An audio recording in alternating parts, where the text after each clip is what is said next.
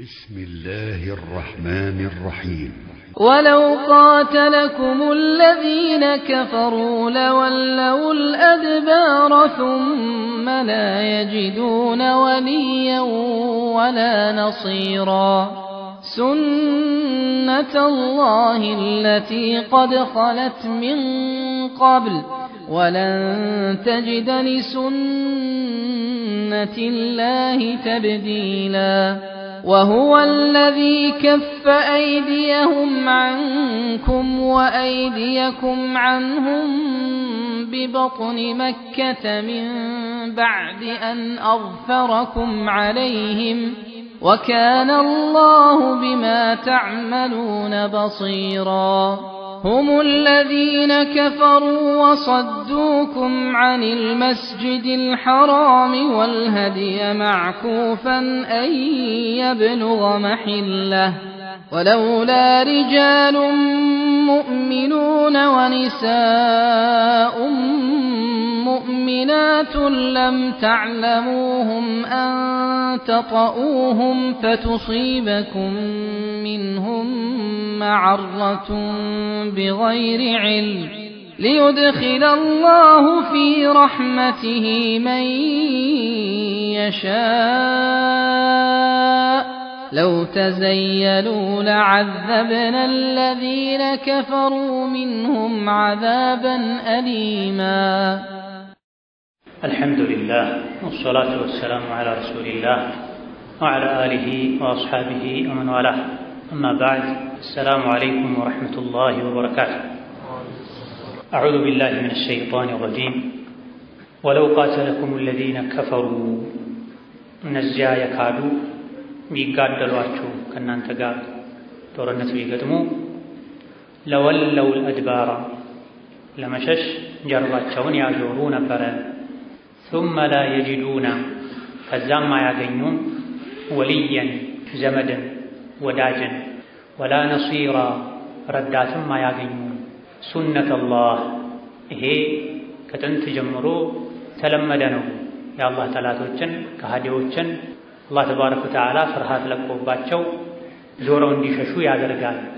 ሱነት አላህ ለቲ ቀድ ኸለት ሚን ቀብሉ ከዚህ በፊት ያለፈ የአላህ ልማድ ነው ስራ ነው።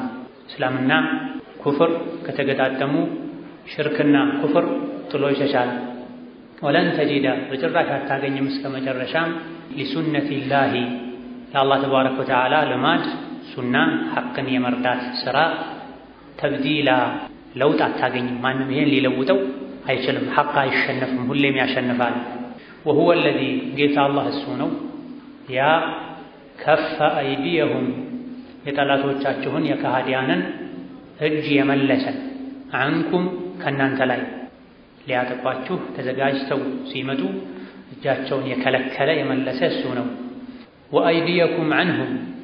የእናንተንም እጅ ከነሱ ያገደ የመለሰ አላህ ነው ሁደይቢያ ጉዞ ላይ ቢበጥኒ መከተ መካ ክልል ውስጥ ሚን ባዕድ አን አظፈረኩም ዐለይህም ጠላቶቻችሁ ላይ ሙሽሪኮች ላይ ካስቻላችሁ በኋላ በእጃችሁ ካስገባቸው በኋላ ባትገድሏቸው ይሻላል ብሎ እጃችሁን እንድሰበስቡ ያደረገው አላህ ነው። የሚያውቀው ጥበብ ስላለ በጊዜው ከመግደሉ ከመጋደሉ ቀጥሎ የሚመጣው የአስር ዓመቱ ስምምነት ለእስላም ስለሚጠቅም ወካነ አላሁ ጌታ አላህ ነው ቢማ ተዕመሉነ በሲራ የምታደርጉትን ሁሉ ሁሌም ያያል ያውቃል። ተጠንቀቁ፣ ከህጉ አትውጡ። ሁሙ ለዚነ ከፈሩ የመካ ሙሽሪኮች የዲኑ ጠላቶች እነሱ ናቸው የካዱት፣ እናንተ ሳትሆኑ። እናንተ አማኝ ናችሁ፣ እነሱ ከሃዲዎች ናቸው። ወሰዱኩም ዐኒል መስጂዲል ሐራሚ ከተከበረው መስጅድ ከካዕባ ያገዷችሁ የከለከሏችሁም እነሱ ናቸው። ከአላህ ቤት ማንም ሊከለከል አይገባውም ነበረ። ወልሀዲያ ለሀዲ የተወሰነውን መስዋዕትም ለሐረም ምስኪኖች የሚታረድ የሀዲ እንስሳንም ያገዱ እነሱ ናቸው። ማዕኩፈን የታገደ ሆኖ አን የብሉገ መሒለሁ የሚታረድበት ቦታ እንዳይደርስ የታገደ ሆኖ ያስቀሩ የከለከሉ እነሱ ናቸው።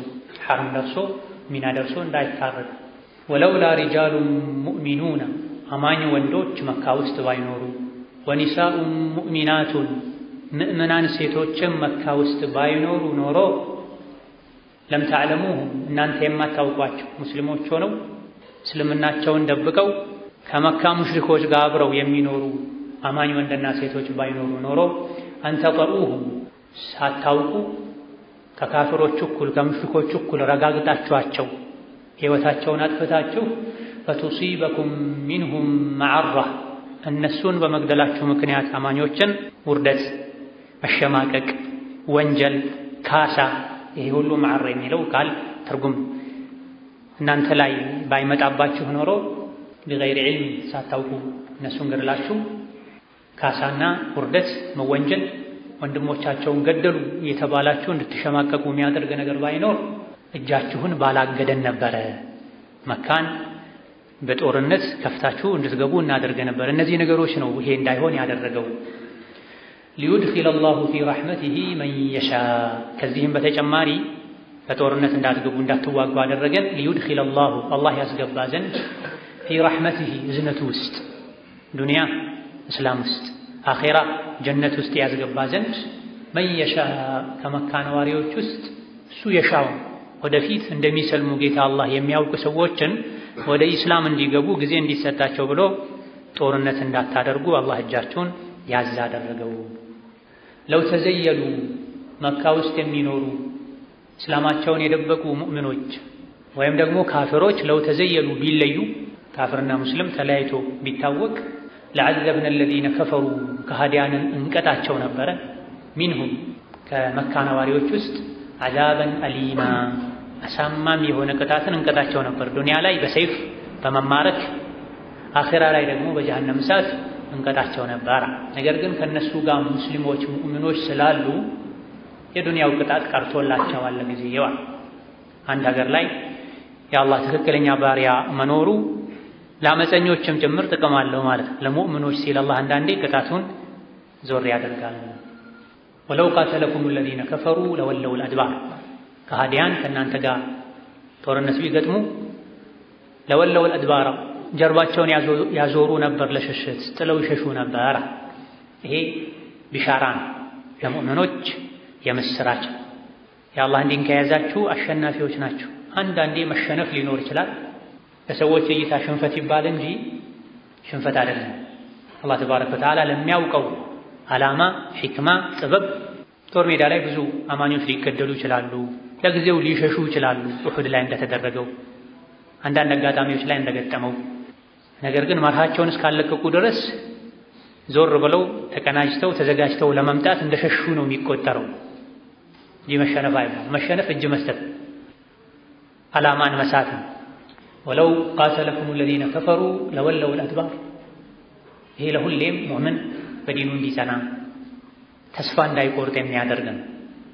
ሑደይቢያ ላይ ስምምነት አድርጋችሁ ተመለሱ ሲባል የሽንፈት ስሜት ሊሰማችሁ አይገባም። ትሸነፋላችሁ፣ ታልቃላችሁ ተብሎም አይደለም። እንደው ውጊያ ቢካሄድ እንኳ አሸናፊዎች እናንተ ናቸው። ነገር ግን ማሸነፍ ሁሌም በሰይፍ አይደለም፣ በጉልበት አይደለም። እነሱ እንደፈለጉት ከእናንተ ውስጥም ብዙ ሰሓቦች ፈልገው እንደነበረው ጦርነት ቢካሄድ ለወለው አድባራ ከሃዲያን ጀርባቸውን አዙሮ ይሸሹ ነበረ። ثم لا يجدون وليا ولا نصيرا እስከ መጨረሻም ሁኔታቸው ይሄው ነበር የሚሆነው። ዳግም አገግመው ተቀናጅተው መጥተው ሊያሸንፉ አይችሉም። ለሁሌም ይሸነፉ ነበር። ወሊ ጠባቂ ማለት ነው፣ ወዳጅ ዘመድ ማለት ነው፣ የሚከላከል አስቀድሞ አደጋን የሚከላከል ወላ ነሲራ ችግር ውስጥ ከገባችሁ በኋላ አደጋ ከደረሰባችሁ በኋላ ሊረዳ የሚችል ረዳት አያገኙም ለምን? የእነሱ ጦርነት ከአላህና ከመልእክተኛው ጋር ምክንያቱም ነቢይን ሰሓቦችን እየተዋጉ የነበረው በያዙት አቋም ምክንያት ነው። እየተዋጉ ያለው እነሱን ሳይሆን ዓላማቸውን ነው። ከዚህ እየተዋጉ ያለው ከሰው ጋር ሳይሆን ከአላህና ከመልእክተኛው ጋር ነው። ከአላህና ከመልእክተኛው ጋር የሚዋጋ መቼም አይሳካለትም። ሱነተላሂ አለቲ ቀድ ኸለት ሚን ቀብል እነሱ ይሸነፉ ነበረ። ምን አይነት መሸነፍን? ከሱነቲላሂ አለቲ ቀድ ኸለት ሚን ቀብል ከአሁን ቀደም በተለያዩ ነቢያት ጊዜ እናንተም በበድር ዘመቻ ላይ እንዳያችሁት በአላህ ሱና መሰረት አለ። ሱና ማለት ፈለግ፣ መንገድ፣ ልማድ ማለት ነው። ሁሌ የሚደረግ ነገር ማለት ነው። አላህ ሁሌ የሚያደርገው ነገር ምንድን ነው? ሐቅን ይነስራል። ወልዮቹን፣ ወዳጆቹን፣ ለዲኑ ዘብ የቆሙ ሰዎችን ይረዳል። ይህ የአላህ ሱና ነው። ቀድ ኸለት ሚን ቀብሉ ከጥንት ጀምሮ ያለፈ የተለመደ የአላህ ሱና ነው፣ የአላህ ሥራ ነው። በተለያዩ አጋጣሚዎች በነ ዳውድ ዘመን ዓለይሂ ሰላም፣ በነ ሙሳ ዘመን ከዛ በፊትም ነቢያት በቁጥር አነስተኛ ሆነው ከተከታዮቻቸው ጋር በብዙ እጥፍ ከሚበልጧቸው ጠላቶች ጋር ተፋልመው አሸንፈዋል። በድርም ላይ እናንተ አይታችኋል። ያ ወግ ተራ ደርሷችኋል። በሦስት እጥፍ የሚበልጧችሁ ሙሉ ትጥቅ የታጠቁ ሙሉ ስንቅ የያዙ ለጦርነት ተዘጋጅተው የመጡ አምባገነኖችን ገጥማችሁ አሸንፋችኋል። ወለቀድ ነሰረኩም ላሁ ቢበድሪን ወአንቱም አዲላ ፈተቁላህ ለዓለኩም ተሽኩሩን። በቁጥር አናሳ ከመሆናችሁ ጋር በትጥቅ ደካማ ከመሆናችሁ ጋር በድር ላይ አላህ ረድቷችኋል። ሁሌም አላህን ፍሩ ይረዳችኋል። ወለን ተጂደ ሊሱነቲላሂ ተብዲላ የአላህን ተባረከ ወተዓላ ሱና ልማድ ዲንን ሐቅን የመነሰር ስራውን ማንም ሊሽረው ሊቀይረው አይችልም። በትጥቅ የሚበልጥ ስለመጣ አይሻርም። በቁጥር የሚበልጥ ስለመጣ አይሻርም። በተንኮል በዘዴ በብልሃት ለማሸነፍ ቢሞክሩ የአላህ ሱና አይቀይርም። ታዲያ አንዳንዴ ለምን ተሸነፉ? ይህ መሸነፍ አይባልም። በሰዎች ዘንድ መሸነፍ ሊባል ይችላል። ዓላማቸውን አልሳቱም፣ መርሃቸውን አልለቀቁም፣ ዞረው መጥተዋል፣ እጅ አልሰጡም። መቼ وهو الذي كف أيديهم عنكم። ጌታ አላህ እሱ ነው። كف أيديهم የጠላቶችን እጅ የመለሰ። عنكم ከናንተ وأيديكم የእናንተንም እጅ የመለሰ عنهم ከነሱ እንዳትጋደሉ ያደረገ የት? ببطن مكة መካ ውስጥ። መካ ክልል ውስጥ። መቼ? من بعد أن أظفركم عليهم ጠላቶቻችሁን ካስቻላችሁ በኋላ በእጃችሁ ካስገባላችሁ በኋላ እጃችሁን አገደው አላህ እንዳትጋደሉ አደረገ። እነሱም በድንገት ከከፍታ ቁልቁል ወርደው ሳትዘጋጁ ሊወሯቸው ነበር የመጡት። አመጣታቸው እንዲህ ነበረ። የእነሱንም እጅ አላህ ያዘው። እናንተም በእጃችሁ ከገቡ በኋላ አይናቸው ከታወረ በኋላ በነቢ ዱዓ እንዳትገድሏቸው አደረገ። ይሄ ወደፊት ለታቀደው ጥሩ ሰበብ ሆነ፣ ለሱልሕ በር ከፈተ። ወካነ አላሁ ቢማ ተዕመሉነ በሲራ ወካነ አላሁ ቢማ ያዕመሉነ በሲራ። ሁለቱም ትክክለኛ አቀራር። የምትሰሩትን አላህ እያየ ነበር ያ ያለሁን እነሱ የሚሰሩትን ያ ተዘጋጅተው ተደብቀው ከተራራ ጀርባ ተቀናጅተው መጥተው ሳይታወቅባቸው ድንገት እናንተ ሑደይቢያ ዝቅታ ላይ ባላችሁበት ሊወሯችሁ ነበር የመጡት። ወካነ አላሁ ቢማ ያዕመሉነ በሲራ እነሱ የሚሰሩትን አላህ ያያ አሳወቀ። ነቁ። ሰሓቦች አየዋቸው። በጡን መካ ማለት ሑደይቢያ ማለት ነው። ሑደይቢያ የቦታ ስም ከመካ በቅርብ ርቀት የሚገኝ አሁን ላይ ወደ ጅዳ ሲኬድ ሽመይሲ በሚባል የሚታወቅ ስፍራ አካባቢ ከሐረም 20 ኪሎ ሜትር አካባቢ ርቀት ላይ የሚገኝ የተወሰነ ክፍሉ ሐረም ውስጥ ነው ያለው፣ የተወሰነ ክፍሉ ከሐረም ውጭ ነው ያለው። ይህ የሆነበት ስፍራ ከሐረም አንድ ሁለት ኪሎ ሜትር ራቅ ብሎ የሚገኝ ስፍራ ነው። ሑደይቢያ የጉድጓድ ውሃ ስም ነው። አሊያ ደግሞ የታጠፈ ዛፍ ስም ነው። ሁለቱም ታሪክ አላቸው። የጉድጓዱ ውሃም ሑደይቢያ የሚባለው የጉድጓዱ ውሃም ታሪክ አለው። ደረቅ ነበረ። ነቢ ሰላቱ ወሰላም እዛ ጋር ሲያርፉ ውሃ በሌለበት እንዴት ረፉ ትለናለህ ሲሏቸው ነቢ ዱዓ አድርገው ውሃው እንደ ልባቸው እንዲፈልቅ ተደርጓል። ጠጥተዋል፣ ታጥበዋል፣ ምግብ ሰርተዋል፣ እንስሳቶቻቸውን አጠጥተዋል።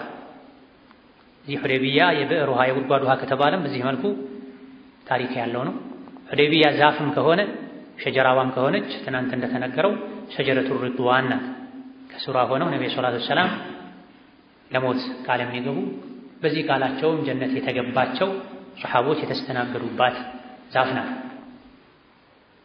هو الذي كف أيديهم عنكم وأيديكم عنهم ببطن مكة መካ ከደረሳችሁ በኋላ እጃቸውን ሰበሰበ፣ የእነሱንም እጅ ሰበሰበ። ጸጋ ነው ይሄ በሁለቱም በኩል ሙሽሪኮች ተሳክቶላቸው በድንገት ወረው ነቢይን ሰሓቦችን አለማጥቃታቸውም ጸጋ ነው። እናንተም ውጊያውን ብትጀምሩት ኋላ ላይ ሊገኝ የነበረውን ድል ያከሽፍ ነበረና ለእናንተ ጸጋ ነው። ሳትጎዳዱ የሐረምን ክብር ሳትደፍሩ ወቅቱም ደግሞ አሽሁረል ሑሩም ስለነበረ ውጊያ የተከለከለበት ወርም ስለነበረ የወሩንም ክብር ሳትነኩ ያሰባችሁት ተሳካ። መጨረሻው የአማረ ሥራ ተሰራ። እንደ ጸጋ ይሄን አላህ መቁጠሩ መንገሩ አንዳንዴ ጦርነት መተውም ጸጋ ነው ማለት ነው። ኢስላም ሁሌም ሁሉንም ነገር በሰይፍ በጉልበት በጦር አይደለም የሚፈታው የሚያሳፍ ሁሌም ጦርነት ውጊያ ጠቃሚ ሁሌም አስፈላጊ ላይሆን ይችላል። ጂሃዱ ጦርነቱ እራሱ አይደለም የሚፈለገው ከጀርባ ያለው ነው የሚፈለገው። በንግግር ችግሩን መፍታት ከተቻለ ይደረግ። በስምምነት መፍታት ከተቻለ አንዳንዴ አንዳንድ ነገር ትተህም ጭምር ወደፊት ይመጣል። በዛሬው ደርሳችን ኢንሻአላህ ለእስላም የሚጠቅመው ከሆነ ይህን ታደርጋል። የጂሃድን ምንነት ሳያውቁ ሁሌ ጠዋት ማታ ዚክራቸው ጂሃድ ጂሃድ ጂሃድ የሆነ ሰዎች አሉ። ጂሃድ ምንድነው? መስፈርቱ ምንድነው? መቼ ነው የሚደረገው? የት ነው የሚደረገው? ከማን ጋር ነው የሚደረገው? ማን ላይ ነው የሚደረገው? አያውቁ። እስቲ ሸርጦችን ንገረኝ፣ ከስምንት ከዘጠኝ የጂሃድ ሸርጦች ንገረኝ ብትለው ሁለት መጥቀስ አይችልም። ፈጅር ወጥቶ አይሰግድም። የተለያዩ የሚያጠፏቸው ጥፋቶች አሉ። ግን በሐማስ ብቻ በወኔ ብቻ በስሜት ብቻ ጂሃድ ቀረ። የዘመኑ ዑለሞች ጂሃድ አያውጁም፣ ፈሪዎች ናቸው። መስጅድ ግድግዳ ስር ቁጭ ብለው ስለ ሀይዱ ብቻ ነው የሚያስተምሩት ይላል። ከጂሃድ መታቀቡ በራሱ አንዳንዴ نصر ነው፣ ድል ነው ለኢስላም። እስላምን አላህ መልእክተኛው በፈለጉት መልኩ ነው የምንረዳው የምናስኬደው እንጂ በስሜት አለ በፍላጎት አለ። ከፈ አይዲየሁም አንኩም ማን ናቸው እነዚህ? እጃቸውን ከእናንተ መለሰ የእናንተንም እጅ ከነሱ መለሰ የተባሉት እነማን ናቸው? ሁለት አይነት ምላሾች ተሰጥተዋል። ዞሮ ዞሮ ተመሳሳይና ተቀራራቢ ነው። ከአነስ ብን ማሊክ እንደተነገረው ነቢዩ ሰላቱ ሰላም ሁደይቢያ በሰፈሩበት ከመካ ሰዎች ውስጥ ሰማንያ ፈረሰኞች ከተንዒም ጀበል ወደ ነቢዩ ሰላቱ ሰላም መሳሪያቸውን ታጥቀው በድንገት ነቢ እንዲገድሉ መጡ። ነቢዩ ሰላቱ ሰላም በሰላም ይዘው ተቆጣጥረው ወደ ነበሩበት መለሷቸው። ይሄኔ ነው ወሁወ ለዚ ከፈ አይዲየሁም አንኩም ወአይዲየኩም አንሁም የሚለው የወረደዋ። ከዓብዱላህ ብን ሙገፈል አልሙዘኒ እንደተነገረው ደግሞ ዓብዱላህ ብን ሙገፈል ምን አሉ? ከነቢይ ጋር ሁደይቢያ ስፍራ ላይ አብረን ነበረን። ነቢዩ ሰላቱ ሰላም ከዛፊቱ ስር ቁጭ ብለው ነበረ። ያቺ በቁርአን የተነገረችው ዛፍ ከዛፏ ቅርንጫፍ አንዱ ቅርንጫፍ ነቢ ላይ አርፎ ነበር። እኔ የዛፉን ቅርንጫፍ ከፍ አድርጌ ይዤላቸው ሳለ አሊ ብን አቢ ጣልብ ከነቢ ፊት ለፊት ሆኖ የሚሉትን ውሉን እየጻፈ ሳለ ሰላሳ የሚደርሱ የታጠቁ ወጣቶች ፊት ለፊታችን መጥተው ቆሟል። ከከፍታ ላይ ወርደው በድንገት ነቢን ለመግደል በተለያዩ አጋጣሚዎች ነቢ ነቢ ከሆኑበት ጊዜ ጀምሮ የግድያ ሙከራ ተደርጎባቸዋል። ወላኪን አላህ አዕሰመሁ ሚን ናስ ነገር ግን አላህ ጠብቋቸው። መጀመሪያ ጊዜ ላይ ጠባቂ መድበው ነበር። በተራ ተራ ሰሓቦች ይጠብቁ ነበር። በቤታቸው ሁሉ አዳሩን ይጠበቅ ነበር። የተለያዩ ሰሓቦች በተራ ተራ ይጠብቁ ነው። በዚሁ ጥበቃ ላይ ያሉ ነው። ከዕለታት አንድ ቀን ሌሊት ላይ ወጥተው ሂዱ ወደ ቤታችሁ ከእንግዲህ አላህ ጠባቂ አድርጎልኛል ብለዋቸው እዚያው ቁጭ ብለው የተማማሩ የተመካከሩ ያድሩ ነበር እሳቸውን እየጠበቁ በተለይ መዲና ከተኬደ በኋላ ሙሽሪኮች፣ ሙናፊቆች፣ አይሁዶች በስተው ነበር። يا أيها الرسول بلغ ما أنزل إليك من ربك وإن لم تفعل فما بلغت رسالته والله يعصمك من الناس የሚለው አንቀጽ ሲወርድ ሂዱ ወደ ቤታችሁ። እነሱ አጅር የፈለጉ እንደው የተሻሙ እኔ እኔ ያሉ ነበር የሚጠብቁት። ከእንግዲህ አላህ ይጠብቀኛል ሂዱ ወደ ቤታችሁ ብላ ይሄኔ ነቢዩ ሰላቱ ወሰላም ዱዓ አደረጉ። ሰላሳ የታጠቁ ወጣቶች በጥላቻ ንዴት የተሞሉ ሳይዘጋጁ መሳሪያቸውን ሳያነሱ በድንገት ሊወሯቸው ነበር የመጡት። ነገር ግን ነቢዩ ዱዓ አደረጉ። ፈአኸዘ አላሁ አብሳረሁም ወዲያው ዱዓው ሰራ፣ አይናቸው ታወረ። አንዱ ላይ ሰላሳ አንዱ ላይ ሰማንያ ለምን ተባለ? ያዩትን ከፊት ያለውን ነው የተናገሩት። ታዲያ ደግሞ ሁለቴ ሙከራ ተደርጎም ሊሆን ይችላል። ሐዲሶች ትክክል ከሆኑ በዚህ መልኩ ነው የምናስማሙ፣ እርስ በርሱ አይምታታም። ወዲያውኑ የነቢ ዱዓ ሰርቶ አይናቸው ታወረ፣ ፈዘው ቀሩ። ወዲያውኑ ሰሓቦች ያዟቸው፣ ወደ ነቢ አስጠጓቸው። እንዴት ልደፍሩ ልትመጡ ቻላቸው? እሳት ውስጥ እኮ ነው የገባችሁት። ፊት ለፊታችሁ አንድ ሺህ አምስት መቶ አካባቢ ልክ እንደናንተ የተዘጋጀ ሰራዊት አለ። አማን አላችሁ፣ ኑ አትነኩም ተብላችኋል፣ ተልካችኋል። ሂዱ ሙሐመድ ጋር ተወያዩ ተብላችሁ ተልካችኋል። መልእክተኛ ናችሁ። ምንም እኮ በሰላም እንድትመለሱ የሚያደርግ ዋስትና የላችሁም። አመኑ እነሱ። አዎን ሂዱ ብሎ የላከን ህጋዊ ልዑክም አይደለንም፣ ሰው ኖሮ የተላከንም አይደለንም። ከኛ ውስጥም ከእናንተ ውስጥም ከሙስሊሞች ኑ በሰላም ገብታችሁ ተወያይታችሁ ውጡም አልተባሉ። ስለዚህ ለነገር ነው የመጣችሁት ብትገደሉ ይገባችኋል ማለታቸው። ነገር ግን ነቢ ተዋቸው። ይሄን ነው ከፈ አይዲየኩም አንሁም ያሉ። እነሱም ሊገድሏችሁ ይችሉ ነበር። በድንገት ነው የመጡት። የፈለጉትን ያሳኩ ነበር በተወሰነ መልኩ እንኳ ቢሆን ግን አላህ ያዛቸው። እጃቸውን አይናቸው ታወረ፣ አቅማጡ። እናንተም እነሱ መግደል ትችሉ ነበረ። ጦርነት ጀምረዋል፣ አልተሳካላቸው እንጂ ነገር ግን እናንተም እንዳልገድሏቸው አደረጋ። ይሄ ቀጥሎ ለሚመጣው ለሚደረገው ሱልሕ በር ከፍቷል። ነቢ ዐለይሂ ወሰለም ለነገር እንዳልመጡ ለራሳቸው እንደማይበቀሉ ደም ማፍሰስ እንደማይወዱ ማሳያ ሆነው ብዙ ጊዜ ኢስላም ሲባል አብሮ ከኢስላም ጋር ሰይፍ ስሙን ያነሳሉ። እንደው ሰይፍ የሚባለው መሳሪያ የተፈጠረው ኢስላም ሲወለድ ነቢ ሲመጡ እስኪመስል ድረስ ከዛ በፊትም ከዛ በኋላም ሰይፍ ይታወቃል። ባህላዊ መሳሪያ ነው ከድሮ ጀምሮ። ነቢ ሰላቱ ሰላም ለ13 ዓመት ለ15 ዓመት ሰይፍ ታጥቀው አያውቁም። በመካ ቆይታቸው ሰይፍ አልነበራቸው። ከመካ ተነስተው መዲና ሲጓዙ ለሳምንት ሁሉ በዛ በረሃ በጠላት በተከበበ ሀገር ሰይፍ አልታጠቁም። የነቢዩ ሰይፋቸው እውቀት ነው፣ ዒልም ቁርአን አቅል ነው፣ ንጹህ ተፈጥሮ ነው። ታዲያ ከድሮ ጀምሮ ያለ ሰይፍን አሁንም በየሀገሩ እንደ ባህላዊ መሳሪያ ሰዎች የሚጠቀሙት ሰይፍን ለምን ከእስላም ጋር እንደሚያያይዙትና እስላም በሰይፍ ነው የተስፋፋው እንደሚሉ አናቅም። ሁሙ ለዚነ ከፈሩ እነሱ ናቸው የካዱት የመካ ሙሽሪኮች ወሰዱኩም ዐኒል መስጂዲል ሐራም ከመስጂዲል ሐራም ያገዷችሁ እነሱ ናቸው። ወንጀል ሁሉ ያለው እነሱ ጋር ነው። እናንተ አማኞች ናቸው፣ በአላህ ታምናላችሁ፣ በሁሉም መልእክተኞች ታምናላችሁ። እነሱ ደግሞ በአላህ ይክዳሉ፣ መልእክተኛውን ያስተባብላሉ፣ ፎቶ መቀስቀስን ያስተባብላሉ። እናንተ ጌታችሁ ፈጣሪያችሁ እመኑ ባላችሁ ነገር ሁሉ አማኞች ናቸው፣ ህጋዊ ሰው ናቸው፣ ደግ ሰው ናቸው፣ አኼራ አለብኝ ምትሉ ናቸው፣ አትበድሉ። ወሰዱኩም ዐኒል መስጂዲል ሐራም ሌላኛው ወንጀላቸው ከመስጂዲል ሐራም እናንተን አግደዋል፣ ከልክለዋል። ይሄም የእነሱ ወንጀል ነው። እናንተ አልከለከላችሁ፣ የከለከሉ እነሱ ናቸው። ከአላህ ቤት ማንም ሊከለከል አይገባው። በተለይ ደግሞ እናንተ አህሉ ናችሁ። የመስጂድ አልሐራም ባለቤት እናንተ ናችሁ። የአላህ ቤት ነው፣ እናንተ የአላህ ባሪያዎች ናቸው። አላህን ለማክበር ነው የምትገቡት፣ ማንንም ሳይሆን። እነሱ ድንጋይ እንጨት ነው ዙሪያውን የሞሉት። ይሄ ወንጀላቸውን ክብደት ሊነግረን ከሚስወር ኢብኑ መኽረማ ከሰሓቢዩ ከመርዋን ኢብኑ አልሐከም ከታቢዒዩ እንደተላለፈው በመሰረቱ ሁለቱም ያስተላለፉት ሙርሰል ነው። መርዋን ሰሓቢ አይደለም። አልሚስወር ሰሓቢ ቢሆንም ይሄን ክስተት አላየም። ነገር ግን ክሷው ይታወቃል። በትክክል ቦታው ላይ ከነበሩ ሰዎች ያስተላለፉት ነው። እነ ቡኻሪ፣ አቡ ዳውድ፣ ነሳኢ ሌሎችም ያስተላለፉት ኢማም አሕመድ ያስተላለፉት ትክክለኛ ሐዲስ ነው።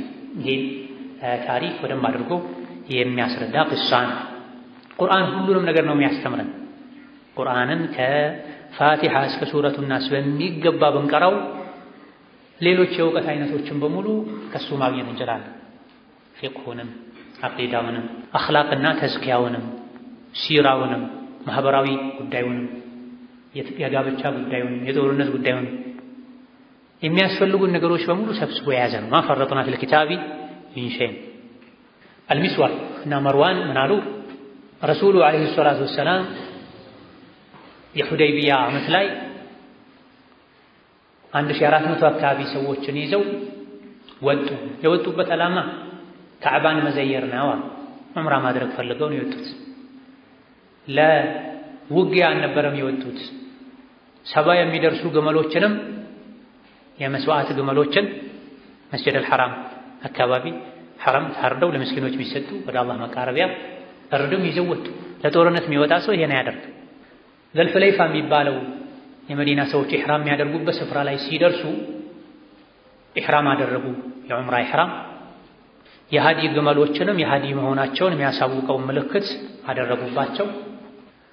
ከዛ በኋላ መካ አካባቢ ያለ ሁኔታን እየተከታተለ መረጃ የሚያቀብላቸውን ሰው መደቡ። ከኹዛዓ ጎሳዎች ነቢይ ጉዞ ጀመሩ። ዑስፋን የሚባል አካባቢ ላይ ሲደርሱ ከፊት መረጃ እንዲያቀብላቸው ያላኩት ሰው አገኛቸው። ቁረይሾች ለውጊያ ተዘጋጅተዋል። የተለያዩ ጎሳዎችን አነሳስተዋል። ከአላህ ቤት ሊመልሱህ ነው። መቋቋም ማትችለውን የሰው ኃይል አዘጋጅተዋል። ያን ያክል ደግሞ አንተ መሳሪያ አልያዝክም፣ ለጦርነት አይደለም የወጣኸው አላቸው። ይህን የነቢ ሰላቱ ሰላም ወደ ሰሓቦቻቸው ዞር ብለው ሹራ አደረጉ። አሺሩ ዐለየ አዩሀናስ እናንተ ሰዎች ሆይ እስቲ ሀሳብ ስጡኛ። እንደ ረሱሉ ዐለይሂ ሰላቱ ወሰላም ጓደኞቹን ባልደረቦቹን የሚያማክር ሰው አልነበረም ተብሏል።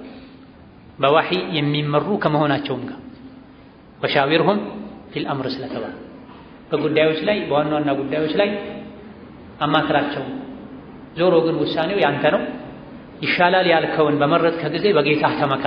አይ አይደረግ የሚል ቢኖርም አትስማ ብሏቸዋል ነቢ ሰላት ወሰላም። የውይይት ነጥቦችንም አቀረቡ አለይሂ ሰላት ወሰላም።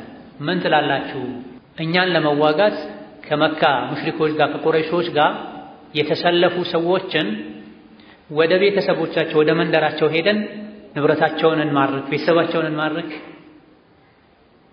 ይሄን ሲሰሙ ደግሞ መካን ትተው ሙሽሪኮችን ትተው ወደ ቤተሰባቸው ይመጣሉ። የመካዎች ደግሞ ለብቻቸው ይቀራሉ። ይሄኔ ለሁለት እንከፍላቸዋለን አሉ። ሀከዛ ሙሐመዱን ዓለይሂ ሰላቱ ወሰላም ኢማሙን ፊ ኩል ሸይ ኸቢሩን ቢኩል ሸይ። ነቢዩ ሰላቱ ወሰላም መስጂድ ላይ ቁጭ ብለው ዲን የሚያስተምሩ ብቻ አልነበሩም። ጦር ሜዳ ላይ የጦር መሪ ናቸው። የተዋጣለት ምንም እንከን የሌለው ሁሉን የሚያውቅ ትዳር ውስጥ ሲገቡ ጥሩ የትዳር አጋር ናቸው። ከባሎቻቸው ጋር ይጫወታሉ፣ ይጎራረሳሉ፣ የቤት ስራ ይሰራሉ። ንግድ ውስጥ ሲገቡም ጥሩ አትራፊ ነጋዴ ናቸው። ስራ ይችላል። የስራ አይነቶችን ያውቃል። ነጋዴዎችን ሰብስቦ መዲና እንደሄዱ አናግረዋል። سمسار ነበር የምንባለው تجار ያሉ ነቢ ናቸው ብሏል።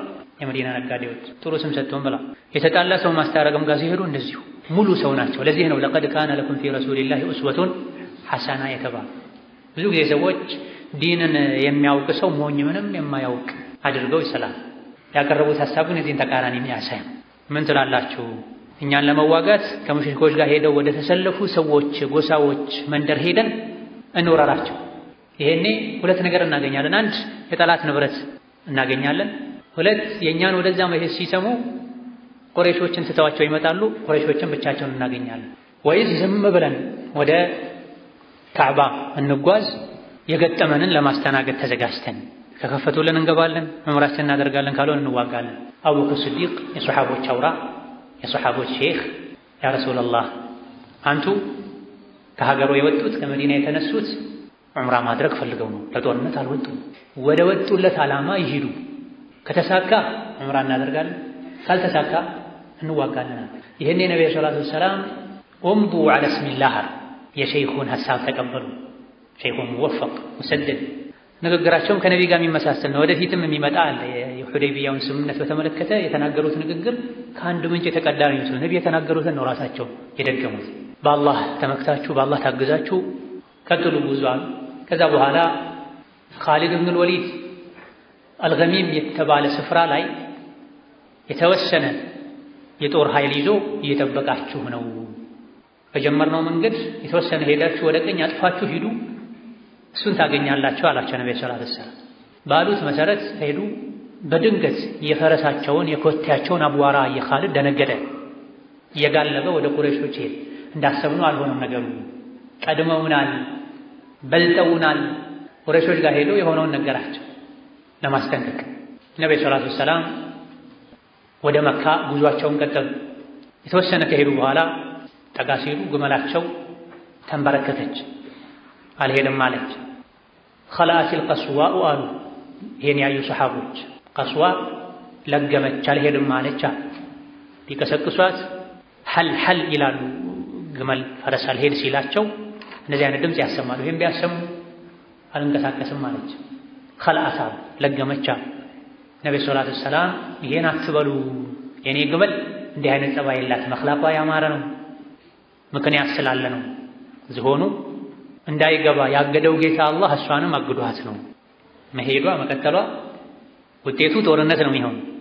አልሄድም ማለች እንዳትሄጂ ብሏት ነው አላህ ተባረከ ወተዓላ። ከዛ በኋላ የግመሏንም ልብ የሚቀይር እንድትነሳ የሚያደርግ ንግግር ተናገሩ። ቢሐውሊላሂ ወቁወቲሂ ወኢራደቲሂ ወአምሪህ ምናሉ በጌታዬ እምላለሁ፣ ነፍሴ በእጁ ባለችው በአላህ እምላለሁ። ዛሬ ቁረይሾች ሐረም እንዲከበር የተከበረው ወር እንዲከበር የአላህ ድንበር እንዲከበር የሚያደርግ ማንኛውንም ኹጣ ኸስላ ጉዳይ ከጠየቁኝ ዝምድና እንዲቀጠል የሚያደርግን ሐሳብ ካቀረቡ ወላሂ ሰማቸዋለሁ አሉና ከዛ ግመሏን ገልመጥ አድርገው ሳብ አድርጓት ብድግ አለች። ይሄ የሆነው ለምንድን ነው? ሰሓቦች ይሄን እንዲሰሙ ነው። ብዙ ሰሓቦች ነገሩ በኃይል እንዲፈታ እየፈለጉ ነበረ። ጉጉትም ነበራቸው መካ ገብተው ዑምራ እንዲያደርጉ። ምክንያቱም ነቢዩ ህልም አይተው ነገሯቸዋል መዲና እያሉ ለተድኹሉነ አልመስጅድ አልሐራመ ኢንሻአላሁ አሚኒነ ሙሐሊቂነ ሩኡሰኩም ወሙቀስሪን ብለዋቸዋል። ካዕባን ካዩ ጠዋፍ ካደረጉ ቆይቷል፣ ጓግተዋል፣ ናፍቀዋል። ይሄን የሚያዘገኝ ነገር ሁሉ ደስ አይላቸው። አይ ነገሩ ሁሌ በጉልበት አይደለም የሚሆነው፣ የዛሬውን ብቻም አይደለም ማየት ያለብን። የአላህ ቤት ሁሌ እንደተከበረ መቀጠል አለበት፣ ዝምድና መቀጠል አለበት። ነገሮች በሰላም ከተቻለ መፈታት አለባቸው። ይሄን ከጠየቁ ደግሞ ዛሬ ለቁረይሾች የጠየቁትን አደርጋለሁ አሉ። አስፍተው እያየው ነው ነገሩ። ግመላቸው ብድግ ብላ ጉዞ ጀመረች። ሰለላሁ ዐለይሂ ወሰለም መጀመሪያ ያሰቡትን አካሄድ ትተው ከፍታ ላይ ወጥተው ቁልቁል ወርደው ወደ ሐረም ሊገቡ ነበር ያሰቡት አካሄዳቸው። ነገር ግን ትንሽ ዞር ብለው ሁዴይቢያ ላይ ሰፈሩ። እዚህ ረፉ አሏቸው። እዚህ ቦታ ላይ እንዴት እናርፋለን? ውሃ የለ በረሃ ነው ሲሏቸው ሁዴይቢያ ውሃው አልቆ ነበረ። በትግል ነበር ትንሽ ውሃ የሚገኝ ከሁዴይቢያ ጉድጓድ ላይ ዱዓ አድርገው የሚያደርጉትን አድርገው ቀሳቸውን ወርውረው ውሃው እንደ አዲስ እንዲንቧቧ እንዲፈልቅ አደረጉ። እዛ ባረፉበት ቡደይል ብን ወርቃ አልኹዛኢ የሚባል ሰው መጣ። ኋላ ላይ የታወቀ ታላቅ ሶሐቢ ሆኗል። የተወሰኑ ሰዎችን ይዞ ቡደይል ብን ወርቃ እና ሶሐቦቹ የእሱ ጓደኞች ቲሃማ መካ አካባቢ የሚኖሩ የነቢዩ عليه الصلاة والسلام አማካሪ ምስጢረኛ ነበሩ። የነቢዩ ምስጢር የሚጠብቁ መረጃ የሚያቀብሏቸው ሰዎች ነበሩ። ቀደም ሲል መዲና ጉዞ እንደጀመሩ መረጃ የሚሰጣቸውን ሰው ላኩ ያልነውም ከነሱ ነው። ቡደይል ነቢይ ጋር ጠጋ ብሎ ከሐረም ነው የመጣሁት ከቁረይሾች መገኛ ነው። ከዕብ ብኑ ልአይ የሚባሉ ሰዎች በጣም ብዙ ቁጥር ያለውን ሰው ይዘው የሚታለቡ ግመሎቻቸውን ሴቶቻቸውን ይዘው ሰፍረዋል። ከዕብ ብኑ ልአይ የሚባሉት የአብዛኛው የቁረይሹ ጎሳ አስል ስለሆኑ ነው ቁረይሾች ለማለት ነው። እንዳለ ተሰብስበው መጥተዋል። ላለመሸሽ ወስነውም ሚስቶቻቸውን፣ ልጆቻቸውን፣ የሚታለቡ ግመሎቻቸውን ይዘው መጥተዋል። ሙሐመድ በጉልበት አይገባም ብለው አንተ ደግሞ በቂ መሳሪያ የለህም ይቅር አላቸው። ነብዩ ሰለላሁ ወሰለም እኛ ለጦርነት አይደለም የመጣ ነው ለዑምራ ነው የመጣ ነው። ቁረይሾች ደግሞ ጦርነት አድክሟቸዋል። በድር ላይ፣ ውሑድ ላይ፣ ከዛም በኋላ አሕዛብ ላይ፣ ኸንደቅ ላይ ደቀዋል። ስለዚህ ከፈለጉ የስምምነት የሰላም ጊዜ እድል ሰጣቸዋለሁ። ጦርነት ይቀራል። ከነሱ ጋር አልዋጋም። ሌሎች ተንኮለኛና አምቢባዮች ጋር እዋጋለሁ። ጣልቃ አይገቡም። እነሷ ከለው በይኒ ወበይነ ናስ ከእነሱ የሰላም ስምምነት አደርጋለሁ። ከሌሎች ጋር ግን ስራዬን እሰራለሁ። እነሱ ጣልቃ አይገቡም። ከዛ በኋላ እኔ ካሸነፍኩ ከተሳካ ሰው እንደሚሆነው ይሆናሉ። ከፈለጉ ወደ እስላም ይገባሉ። ካልፈለጉም የሰላሙ ጊዜ ያልቃል። ያኔ ሌላ ውይይት ጉዳይ ይኖረናል። ካልሆነ ይሄን ካልተቀበሉ ነፍሴ በእጁ ባለችው በአላህ እምላለሁ፣ ጭንቅላቴ ከትከሻዬ እስኪለይ ድረስ እዋጋቸዋለሁ። አላህ ይሄን ዲን ከዳር እስኪያደርሰው ድረስ እዋጋለሁ። ካልሆነ ከተሸነፍኩ የሚለውንም ነው። ከጠላት ጋር ስትደራደር ለጠላት ሀሳብ ስትሰጥ ትንሽ ዝቅ ብለህ መነጋገር ለሱ በሚገባው መልኩ መነጋገር ስላለብህ ነው። አይቀርም አሸንፋለሁ አሸንፋለሁ ብቻ ማለት ይችሉ ነበር። ግን ጠላትን ለማግባባት ለመቀራረብ፣ ለመደራደር አንዳንዴ ራስህን እንደ ተሸናፊ ሆነህም መናገር ይገባህ። ቡደይል እሺ ይፍቀዱልኝ ልሂድ ያሉኝን መልእክት ላድርስ ልንገራቸው ለሙሽሪኮች ለመካ ሰዎች አላቸው። ፈቀዱለት። ሄደ። ቁረይሾች ጋር መጥቶ እኔ ከሙሐመድ ዘንድ ነው የመጣሁት የሚለውንም ሰምቻለሁ፣ ከፈለጋችሁ ላሰማችሁ ሲላቸው ችኩል የሆኑ ሞኝ የሆኑ ሰዎች የእሱን ንግግር መስማት አንፈልግማ። አስተዋዮች አይ ተረጋጉ፣ አይከፋም፣ እንስማዋ የሆነውን ነገራቸው ያሉት እኔ ለጦርነት አልመጣሁም ለዑምራ ነው የመጣሁት ዑምራ አድርጌ መመለስ ነው የምፈልገው። ከፈለጉ ቁረይሾች ለተወሰነ ጊዜ የሰላም ስምምነት አደርጋለሁ። እነሱም ደቀዋል፣ በጦርነት አልቀዋል። ከሌላ እምቢባዮች ጋር እዋጋለሁ። ከዛ በኋላ አላህ የበላይ ካደረገኝ ሰው እንደሚሆነው ይሆናሉ። ካልሆነም የስምምነቱ ጊዜ ያልቃል፣ እንተያያለን ብለዋል ሲሏቸው አስተዋይ የሆኑ ሰዎች ይሄን ከሰሙ በኋላ ቡደይልን ይጠረጥሩታል። መጀመሪያ ሁዛዎች ከነቢይ ጋር ናቸው፣ ሙስሊሞችም ካፍሮችም። ሁዛ የሚባሉ የመካ ጎሳዎች ከነቢይ ጋር ናቸው። ከእነሱ ውስጥ ሙስሊምም አለ፣ ሙስሊም ያልሆነም አለ። ተመሳሳይ በሆነ መልኩ ለነቢይ መረጃ ያቀብላሉ፣ ነቢዩን ይደግፋሉ። ኋላ ላይ ይሄ ስምምነት እንዲፈርስ ምክንያትም ሰበብ የሆነውም ሙሽሪኮች እነዚህን ማጥቃታቸው፣ ሁዛዎችን ማጥቃታቸው ሁሉ እንዲፈርስ ሰበብ ይሆን ቡደይልን ጠርጥረው ለሙሐመድ አዳልተው ነው እያሉ ዑርዋ ኢብኑ መስዑድ ተቀፊ የሚባል ሌላ ከነሱ ውስጥ አዋቂ የሚባል ሰው ተነስቶ ቆሞ እኔ ለእናንተ እንደ ልጅ ነኝ፣ ምክንያቱም እናቴ ከእናንተ ነው የተወለደችው፣ አጎቶቼ ናቸው። እኔም ደግሞ ለእናንተ እንደ እናንተም ደግሞ ለእኔ እንደ አባት ናችሁ። ለእናንተ ክፉ እንደማላስብ እርግጠኛ ናቸው። አጠረጥሩኝም መቼም አይደል አላቸው። አሁን አሉት። ሙሐመድ ጥሩ ሀሳብ ነው ያቀረበው። ስምምነት ይደረግ፣ ከሌሎች ጋር ይዋጋ፣ ከተሸነፈ ጥሩ ሌላ ሰው ገላገላችሁ ማለት ነው። ካሸነፈ የእሱ ክብር ለእናንተ ነው የእናንተው ነው የሚል አይነት ቃና ያለው የድሮ የመጀመሪያ አካባቢ አባቶቻቸው እነ ሲናገሩት የነበረውን አልወሊድ ሲናገሩት የነበረውን ደገም። ስለዚህ ፍቀዱልኝና ሄጄ ላናግር ሙሐመድን አላቸው። እሺ ሂድ አናግሩ አሉ። ረሱል ጋር ሰለላሁ ዐለይሂ ወሰለም ሄደ። ዑትባ ማነው ዑርዋ ነቢ ጋር ዐለይሂ ሰላቱ ወሰላም ደርሶ ሙሐመድ ሆይ ዘመድን ቤተሰብን መግደል ከመቼ ጀምሮ ነው እንደ ክብር የሚታየው? በብዛትህ በጉልበትህ ተማምነህ መካ ገብተህ ዘመዶችህን ብትገድል ምኑ ያኮራል? ይሄ አንድ ሊሆን የሚችለው ይሄ ነው፣ ማሸነፍ ነው። ይሄም ያኮራ አይደለም።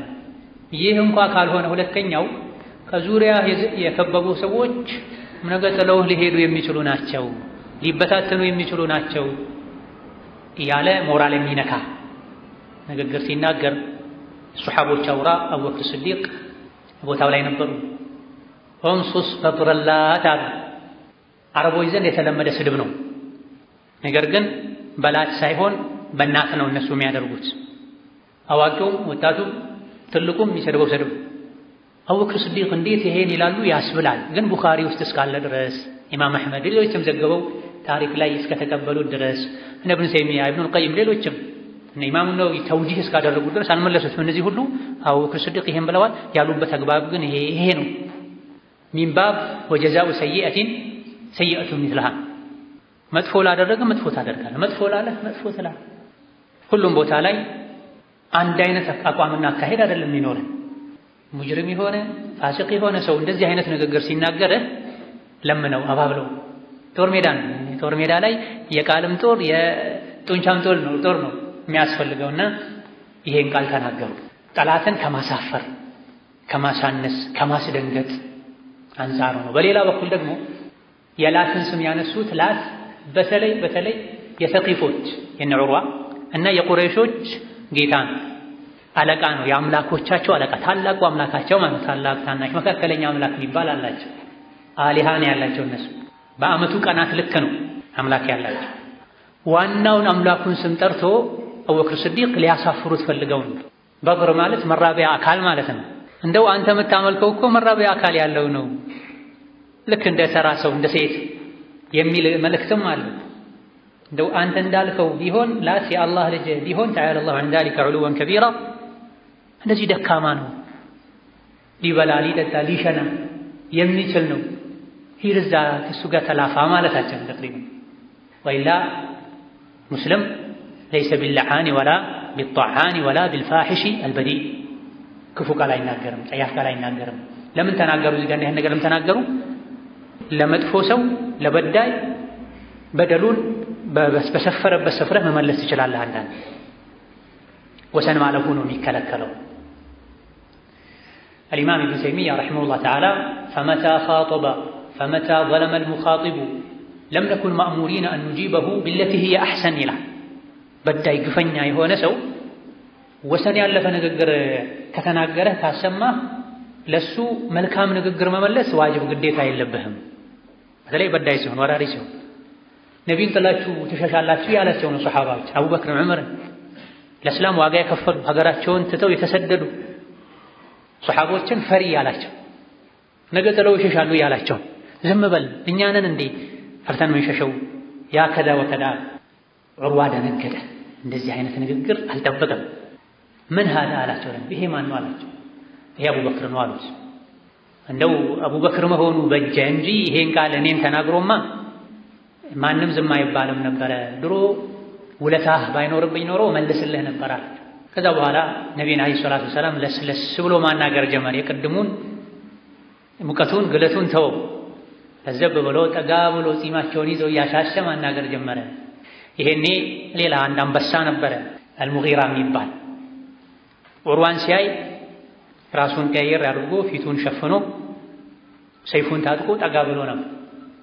ዑርዋ የነቢን ጺም ሲነካካ አልሙጊራ በሰይፉ እጄታ እጁን የመታ ይመልሳል። ትንሽ ቆይተውንም ነቢን ያባበለ ጺማቸውን የደባበሰ ተመለስ ይቅርብህ እያለ ሲያናግራቸው እንደገና መልሶ በሰይፍ እጁን ይመታዋል። አመመው፣ ልቡም አካሉም ታመመ። የአቡበክር ስዲቅ ንግግራቸው ልቡን አሳሞታል። የአልሙጊራ አጥንቱን እጁን አሳሞታል።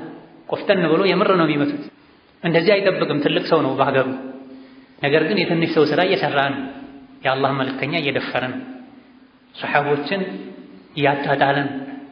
ሲበዛበት ሙሐመድ አንተ ዘንድ እየተደፈርኩ ነው አለ። ዛሬ የሚያደናቅፈኝ ክብር የሚነካ እየበዛ ነው። ማን ነው ይሄ ደግሞ በተደጋጋሚ ይመታኝ? ያውቀዋል ዘመዱ ጺሙን ደጋግሞ ሲነካ የነቢን ጺም ፈኢነሁ ላ የንበጊ ሊሙሽሪኪን አን የመሰሁ አለ። አትንካ የነቢን ጺም ራቅ በል ሙሽሪክ የነቢን ጺም ሊነካ አይገባውም። የእሱ ንግግር ከበድ ያለ ይሄኔ ይሄ ማን ነው ሲል ሃዳ ኢብኑ አኺካ አልሙጊራ ይሄ እኮ የወንድምህ ልጅ ነው ሙጊራ ነው ከቤትህም ጠላት አለህ አለ የሚወድ ሰው የሚያቀርብ ሰው ፍቅሩን ለመግለጽ በተለይ ከአንተ በዕድሜ የሚበልጥ ሰው ሲሆን አቅፎ ጺምህን ሊነካካ ሊደባብስህ ይችላል። አማ እንደዚህ ጠላት የሆነ ደረቅ የሆነ ሰው ያውም የነቢን ጺም ሊነካ አይገባም። አቻ ለአቻ መሳ ለመሳ ሊተቃቀፍ ሊተሻሽ ሊደባብስ ይችላል ነገር ግን የሰማይና ምድር ያክል የተራራቀ ነው። አልሙጊራ እንዳለው ሙሽሪክ ሊነካውም አይገባም የዚህ ሰራው ስራ ከበድ ያለ ስለነበረ ከባድ እርምጃ ሲወሰድበት ያውም ከወንድሙ ልጅ አጎቱ ማለት ነው። ተቅሪበን ሙጊራ መሆኑን ሲያውቅ ይበልጥ ደነገጠ። ሙጊራንም ማስደንገጥ ፈለገና አይጉደር አለስቱ አስዓ ፊ ገድረቲካ አንተ ከሃዲ እስከ ዛሬ እኮ የአንተ ክህደት ያመጣውን ጣጣ እያስተካከልኩን ያለሁት። ትናንት እኮ ነው እጄን የታጠብኩት። አልደረቀማ ይህን ያለበት ምክንያት አልሙጊራ በጃሂልያ ዘመን ከሆኑ ሰዎች ጋር መንገደኞች ጋር አብሮ መንገድ የሄደ አልሙጊራ ኋላ ላይ በታሪክ ይታወቃሉ። ኢራን አካባቢ ሄደው ያደረጉት ንግግርም አለ። ጦር ሜዳ ላይ በተለያዩ አጋጣሚዎች ትልልቅ ጀብዶች አሏቸው። ከድሮም ጀምሮ ጀግና ናቸው፣ ደፋር ናቸው። የሆኑ መንገደኞችን ጠብቆ የሆነ ቦታ እንዲያደርስ አብሮ እንዲሄድ ታዞ ነበር።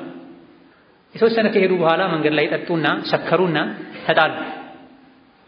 አልሙጊራ ሁሉንም ገድሏቸው ንብረታቸውን ማርኮ ተሰወረ። ከዛ በኋላ መዲና ሄደ። ነብዩ ሰለላሁ ዐለይሂ ሲቀበሉት ሲያገኙት እስላሙን እቀበልሃለሁ፣ መስለም ትችላለህ፣ እስላም የአላህ ዲን ነው፣ ገንዘቡ ግን አነካም አልቀበልህም አሉ። ምክንያቱም የሰው ገንዘብ ሐራም ነው አይቻል፣ የካፍርም ቢሆን የጠላትም ቢሆን ጦር ሜዳ ላይ ጦርነት ገጥመህ ካገኘው ብቻ ነው ሐላል የሚሆንልህ። እሱ ግን ጠብቅ አድርስ የተባሉ ሰዎችን ክዶ ገድሎ ነበርና ያመጣው እስላሙን እቀበልሃለሁ ገንዘቡን ግን ፈለስቱ ሚንሁ ፊ ሸይአ አልጠቀመውም። ገንዘብን የጠላት ገንዘብ ነው፣ የካፍር ገንዘብ ነው። የገንዘብ እጥረት አለብን ይጠቅመናል፣ አምጣው አላል። ተዋሉት፣ አስቀምጠዋል። እንደውም አንዳንድ ሹራሖች እንዳሉት ምናልባትም ገንዘቡ የተወሰደባቸው ሰዎች ነገ ሊሰልሙ ይችላሉ፣ ይመለስላቸዋል ብለው እንዳይነካ ብለው ነው ይሄን ያሉት። ሰለመ፣ እስልምናው አማረ። ወልኢስላሙ የጁቡ ማቀብለ አብዛኛው ሰው ከእስላም በፊት ብዙ የሚያሳፍር ታሪክ ይኖረዋል። ከሰለመ አንድ ሰው እስላም ሁሉንም ቆሻሻ ጠርጎ ነው የሚያስወግደው። በራሱ የሚታወቅ የግለሰብ ሐቅ ካለ ያኔ መመለስ ይጅባል። ይሄ ብዙ ሰዎች የሚያነሱት ጥያቄ ነው። እኔ ከመስለሜ በፊት ብዙ ጥፋት አጥፍቻለሁ፣ የሰው ገንዘብ ዘርፌያለሁ፣ እንዲህ አድርጌያለሁ። የግለሰብ ሐቅ ነክተህ ከሆነ የግለሰቡን ሐቅ የምታውቀውን ወስደ መመለስ ግዴታ ይሆንብሃል። የደበደብከው ሰው ካለ ደብድበኝ እንካ ያቆሰልከው ካለ አቁስለኝ፣ ገንዘብ የወሰድክበት ሰው ካለ እንካ ገንዘብህን ትላለህ። ማታውቃቸው ሐቆች ከሆኑ ግን የእስላም ተውበት ሁሉንም ጠርጎ ያስወግድልሃል። ከዛ በኋላ ነቢዩ ዓለይሂ ሰላቱ ወሰላም ከሰሓቦቻቸው ጋር ያላቸውን ሁኔታ ማየት የጀመረው ዑርዋ አቡበክር ስዲቅ ያን ተናገሩት። ዑርዋ በቃልም በተግባርም መታ አደረጉት። የሁለቱ ብቻ አልነበረም ጉድ የሚያስብለው ሆን ብሎ ሲያያቸው ነቢ ስ ሰላም ምራቃቸውን ሲተፉ ሰሓቦች ቶሎ ብለው ምራቁን አንስተው ይቀቡታል፣ ተበሩክ ያደርጋሉ። ለነቢ ብቻ ይሄ ይቻላል። ከግለሰብ በሸክሱ በዳቱ በማንም ተበሩክ አይደረግም በነቢይ እንጂ። ነቢዩ ምራቅ ሲተፉ ምራቃቸውን ሰው ይቀቡታል። ውዱ ሲያደርጉ የውዱሃቸው ላይ ይጣላሉ። ፀጉራቸውን ሲላጩ ፀጉሩን ይወስዳሉ። እስከ መጨረሻ ነቢ ከሞቱ በኋላ እንኳን ነው ሙሰለማ ጋር የነቢዩ ፀጉር ነበረ እቃ ላይ ተቀምጦ ሰው ሲታመም እንደ መድኃኒት ይጠቀሙት ነበር። ከዛ በኋላ ግን የለም። መጨረሻ የነቢይ ፀጉር እንደነበረ በትክክለኛ ሰነድ የተረጋገጠው እስከ 240 አካባቢ ደርስ። ከዛ በኋላ ከኢማም አሕመድ ጋር ትንሽ የቀረ አብሮ ተቀብሯል። የነቢይ ፀጉር ያሉ በየቦታው የሚያሳልሙት የሚተሻሹት ቱርክ ላይ ግብፅ ላይ ያውም የፈረስ ጭራ የሚያክል ፀጉር የነቢይ ፀጉር አይደለም፣ artificial ነው፣ ውሸት ነው። ማን ሰጣቸውም? በምንስ ተረጋገጠ? የነቢይ ፀጉር እስከ ዛሬ የሚቀመጥ ይሄን የሚያክል ፀጉርም አልነበራቸው። ታሪክም አያውቅም። ከበዛ ከበዛ የነቢይ ፀጉር እስከ ትከሻቸው ነበረ የሚያድግ። እነሱ ግን ሌላ የፈረስ ጭራ ነው፣ አሊያ ደግሞ የሆነ artificial የሰው ፀጉር ነው። ማረጋገጥ ያስፈልጓል። የነቢይ አታሮች እሱ ለመሆኑ ማረጋገጫ ያስፈልጓል። شاهد በዚህ መልኩ ነቢይ ላይ የመረቃቸው ላይ ውሃቸው ላይ ሲሻሟይ ይሁን ነገር ሲያዟቸው ፈጥነው ይታዘዛሉ። አጠገባቸው ሲቀርቡ ድምፃቸውን ዝቅ አድርገው ያናግሯቸዋል። አይናቸውን ሞልተው ሁሉ ፍትት ብለው አያዩአቸው። ሀያ አድርገው ቀስ ያሉ ነው። አይናቸውን ሰብር አድርገው ነው የሚያዩአቸው። ይሄ የነቢይ በሰሓቦች አኽላቅ ነው። የነቢይ ደረሶች ተርቢያ ነው። አደብ አስተምረዋቸዋል። ቁርአን አስተምሯቸዋል። ነቢይ ዘንድ ጮክ አትበሉ፣ ነቢይን በስም አትጥሩ፣ ሳታስፈቅዱ አትሂዱ ነቢይ ጋር ከተሰበሰባችሁ የሚል አደብ አለ። ያን አደብ ተምረውታል፣ ተግብረውታል። በል አልሓፊዝ እብኑ ሐጀር ረሕመቱላሂ ዓለይህ አው ገይሩሁ ምን ሹራህ እንደጠቀሱት እንደውም በዛ ቀን ጨመር አድርገዋል። ለዚህ ሰው መልስ ለመስጠት ምክንያቱም እነዚህ እኮ ነገ ጥለው ይሄዳሉ ብሎ ነበረ። እኛ ጥለን የምንሄድ ሰዎች አይደለንም። የመሪያችንን ትእዛዝ ምናመፅ አይደለንም። እሱ ዘንድ ጮክ ብለን አናገርም፣ አፍትተን አናየውም። የውዱ ውሃውን እንኳ እንደ መድኃኒትነት የምንጠቀም ሰዎች ነን። እኛንን እንዴ ጥለን የምንሄደው እንደማንሄድ ይኸው ይህ ከእሱ ጋር ካለን ሙዓመላ የሚሉ ይመስል ነበር። ዑርዋ ወደ ሙሽሪኮች ተመልሶ ያየውን ነገራቸው። ተደነቀ። ጨማምሮም ነገራቸው እነሱን ለመግራት እኔ ቀይሰር ጋር ሄጃለሁ፣ ነጃሺ ጋር ሄጃለሁ። የዓለም ትልልቅ ንጉሶችን ስም አንስቶ ሁሉንም ሄጄ ቤተ መንግስታቸው ላይ አይቻለሁ። የተኛውም የዓለም ትልልቅ ንጉስ ሙሐመድ ዓለይሂ ሰላቱ ወሰላም ሶሓቦቹን ያከብሩትን ያክል አይከበርም። ከሰይፉ ጋር ከኩራቱ ጋር ከጭካኔው ጋር እንኳ ነጃሺ ቀይሰር ነጃሺ የኛው ሰሓቢ ወይም ሙኸድረሙን አይደለም እላቸው። ነጃሺ ኢትዮጵያን የገዛ ሁሉ ነጃሺ ነው የሚባል፣ ግብፅን የገዛ ሁሉ ፊርዓውን ነው የሚባል። እነዚህ ንጉሶች ከንግስና ግርማ ሞገሳቸው ጋር አስፈሪነታቸው ጋር ያጠፋ ሰው ላይ ፈጥነው ከሚወስዱት እርምጃ ጋር እንኳ አይከበሩም። ሙሐመድ ሰሓቦቹ የሚያከብሩትን ያክላቸው። ከዚያ ያየውን ነገራቸው። ውዱ ሲያደርግ ራቁን ሲተፋ ይሻማሉ፣ ሲናገር ይሰማሉ። ስለዚህ ያመጣውን ሐሳብ ተቀበሉ አላቸው። ነገር ግን አልተቀበሉ። ሌላ ሰው ላኩ። እሱም ሄዶ አናገረ። ነቢ ሰላቱ ሰላም ሲመጣ ሁሉንም እንዳመጣጡ አናገሩት። ሰላማዊ ሰው ሲመጣ፣ ካዕባ የሚያከብር ሰው ሲመጣ የነዱ ያመጡትን ግመል አሳዩት፣ ከፊት አድርጉ ይላሉ። በተራ ተራ የተለያዩ ሰዎች መጥተው ውይይት ለማድረግ ተሞከረ፣ አልሆነም። መጨረሻ ላይ ሚክረዝ የሚባል ሰው መጣ። ገና ከሩቅ ሲያዩት ይሄ ከሃዲ የሆነ ሰው ነው አሉ ነቢ ሰላቱ ሰላም። የመጣው እንደ ሌሎች ለድርድርም አይደለም። በዚህ መሃል ሱሀይል መጣ። ነቢ ሰላቱ ሰላም ሱሀይልን ሲያዩ ነገራችሁ ተሳካ፣ ቁረይሽ አሁን እጅ ሰጠች። ስምምነት ብትፈልግ ነው ይሄን መሪዋን ያላከችዋ። ሱሀይል ብኑ ዐምር ከቁረይሽ መሪዎች መሃል አንዱ ንግግር የሚችል ኸጢብ የሚባል ሰው መጥቶ ስምምነት ሲያደርጉ ነቢ ሰላቱ ሰላም አልይን እያጻፉ ቢስሚላህ ራሕማን ራሒም ብለህ ጻፍ አሉት። ቢስሚላህ ራሕማን ራሒም የሚለውን አላውቅም፣ አራሕማን ራሒም አላውቅም፣ ብስሚከ አላሁመ በላ። እሺ ብለው እንዲቀር አደረጉ። ሀዳ ማ ሷለሐ ቢሂ ሙሐመዱን ረሱሉላህ፣ ይሄ ሙሐመድ የአላህ መልእክተኛ ከቁረይሽ ጋር የተስማማበት ነው ብለው ረሱሉላህ የሚለውን ሲጽፉ አይ ረሱል ብትሆንማ ይሄን ብናምንማ ለምን እንዋጋህ ነበር? ለምን ከለክልህ ነበር? ዝም በለህ ሙሐመድ ብን ዓብድላህ በላ አላቸው። ዓሊ ይሄን አላጠፋማ አንተ የአላህ ረሱልን አላጠፋም፣ ነቢ አጥፉታል። ለምን? ሱብሓነላህ መጨረሻ ላይ ነቢ ስ ሰለም አሳየው የቱ ጋር ነው ብለው ራሳቸው እንዳጠፉት ሲራ ላይ ተነግሯል። ከዛ በኋላ ሶስት ነገሮች ላይ ስምምነት ተደረገ። ቅድም ያሉትን ነቢ ሰላቱ ሰላም ደገሙ። ቁረይሾች ዛሬ የአላህን ቤት የሚያከብሩበት ዝምድናን የሚያስቀጥሉበት ሀሳብ ካመጡ እቀበላለሁ ብለው ነበርና ለአስር ዓመት ጦርነት እንዲቀር በሰላም ሰዎች እንዲኖሩ ነቢም ዳዕዋቸውን እንዲያደርጉ ከሙሽሪኮች ሰልሞ ወደ ነቢ የመጣ ሊመለስ በጣም የሚከብደው ነጥብ ነበር። ከሙሽሪኮች ሰልሞ ወደ ነቢ የመጣ ሊመለስ ከሶሓቦች ሰልሞ ከፍሮ ወደ ሙሽሪኮች የሄደ ላይመለስ መሰል የሆኑ ነጥቦችን አንስተው መፈራረም ጀመሩ። ይህ ከሆነ ዘንድሮ ይመለሳሉ። የሚቀጥሉ ዓመት ላይ ግን ለሶስት ቀን ያለ መሳሪያ ቀለል ቀለል ያሉ መሳሪያዎችን ብቻ የተለመደውን ሰይፋቸውን ብቻ ይዛችሁ ሌላ ቀስት መሰል ነገር ሳትይዙ ለሶስት ቀን ዑምራ አድርጋችሁ ትወጣላችሁ። በዚህ መሃል አቡ ጀንደል ቀደም ብለው ከሰለሙ መካ አካባቢ ሲሰቃዩ ከነበሩ ሰዎች መሃል አንዱ ሰንሰለቱን የጎተተ ቀስ ብሎ ከቤት አምልጦ መጣ። የሱሀይል ልጅ ነው። አባትየው ሙሽሪኮችን ወክሎ ለድርድር ነው የመጣው። ልጅየው ደግሞ ሰልሞ ጥገኝነት ጠይቆ ነው የመጣው። ገና ሲያየው አንድ ብለን ስምምነቱን መፈጸም የምንጀምረው ከሱ ነው። ተመልሰዋል። ነብዩ ሰለላሁ ዐለይሂ ገና እኮ አልተጠናቀቀም ውላችን። አይ አይሆንም፣ እሺ ይሄን ብቻ ፈቀድልኝ ለኔ ብለህ ተው። አላደርግም፣ ካልሆነ ስምምነቱ ይቀራል። ነብዩ ሰለላሁ ዐለይሂ ወሰለም ተመለሳት። ይሄኔ እነ ዑመር ሰሐቦች በጣም ተሰማቸው። እስካሁን ሲሰቃይ ቆይቶ አሁን አላህ መውጫ አበጅቶለት እኛን አግኝቶ ልናስጠጋው ልንከላከልለት ይገባል እንጂ አይ እኔ ቃል ገብቻለሁ ቃሌን አላፈርስም አሉ ነብዩ ሰለላሁ ዐለይሂ ቃሌን አላፈርስም። ለሱ ደግሞ አላህ መውጫ ያበጅለታል። ዑመር ረዲየላሁ ዐንሁ ወአርዳ ብዙ ጊዜ የሙሽሪኮችን ግፍ ሲያዩ አያስላቸውም። ሰይፍ ነው የሚሉት። ፈጠን ብለው አቡ ጀንደል አጠገብ ሄዱ። ሰይፋቸውን እያሳዩት እኔ አልችልም፣ ነብይ ከልክለውኛል። ያው ሰይፉን ግን ከፈለግ እሰጥሃለሁ በለው ይሄን ሰው ያሉ ለአባቱ አዘና ሐዲሱ እንደዛ ይላል። እኔ ተጋቢዬ ሴቴን እጅ እየሰጠሁት ነበር፣ ነካ ነካ እያደረግኩ ነበር። ምክንያቱም የታሰረው እግሩ ነው ሰንሰለት። ሰይፉን በሰጠው ነካ ነካ ባደርገው ባሳየው የልጅነት ሸፈቃ እዝነት ይዞት ተው አባቱ። እኛ እንኳ ቃል ክዳን አስሮናል፣ እሱ ገና እዚያው ነው ያለው።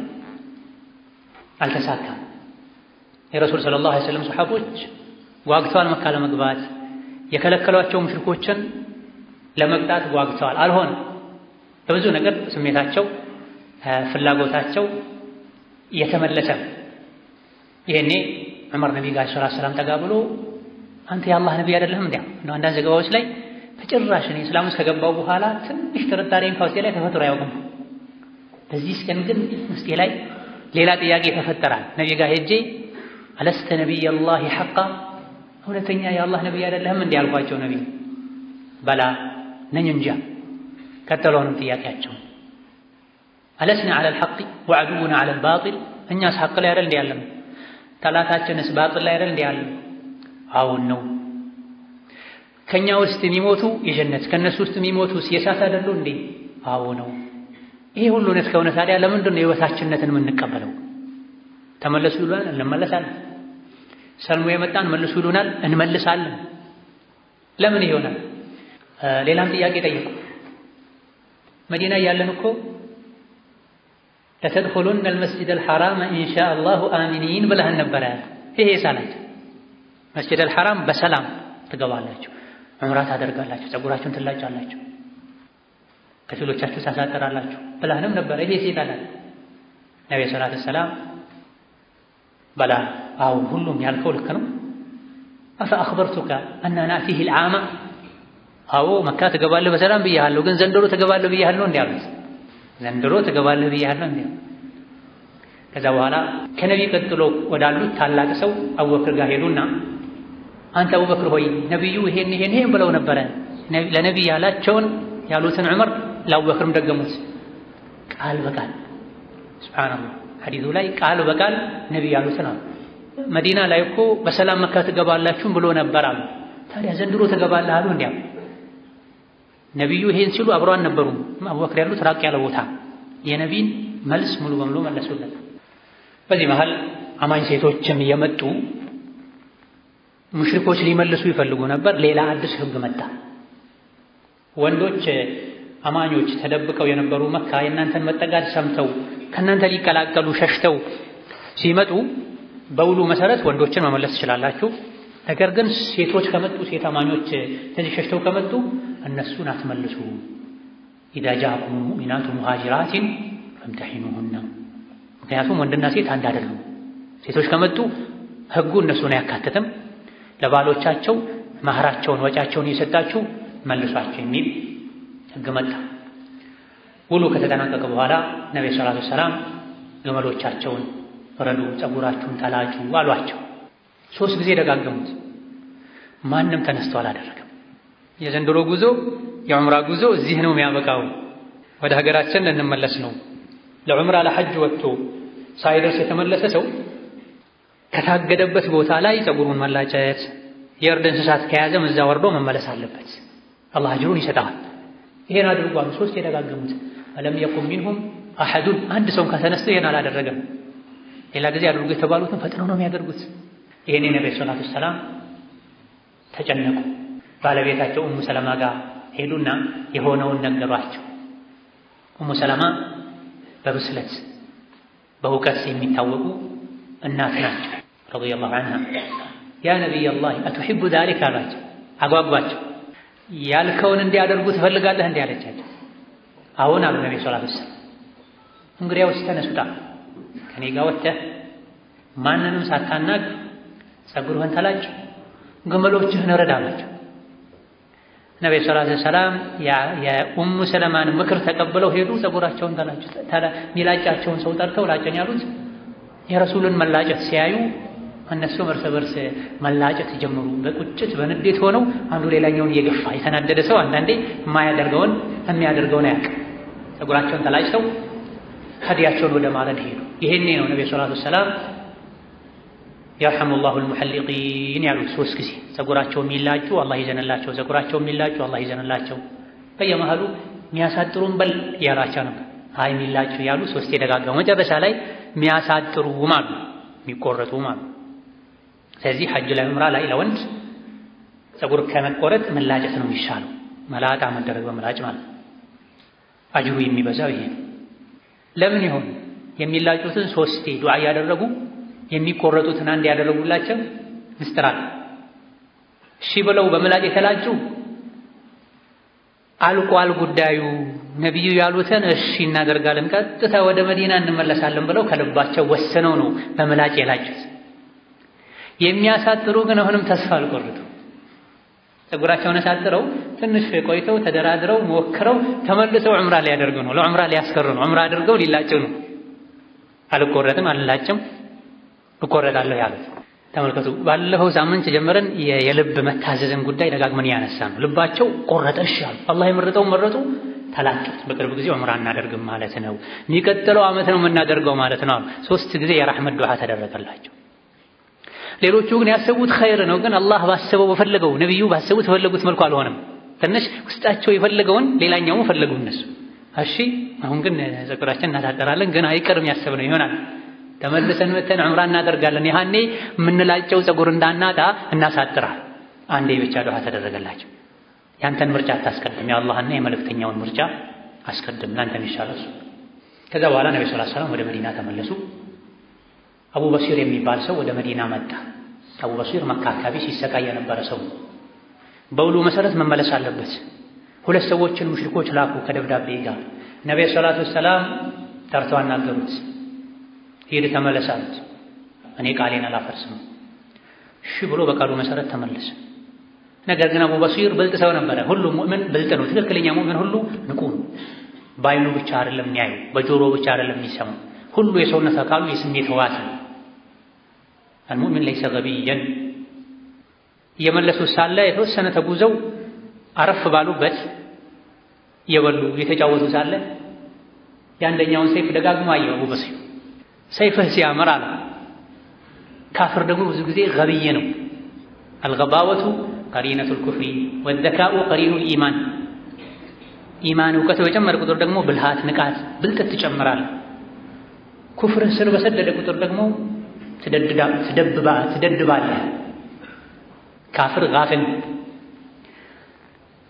ሰይፍህ ያምራል ሲለው አንስቶ ስለ ሰይፉ ትሩፋት ማውራት ጀመረ ሰውየው ሞኙ። ከዛም ብልጡ አቡ በሲር እስቲ ሌዋ አላቸው። እንካ ብሎ ሰጠው።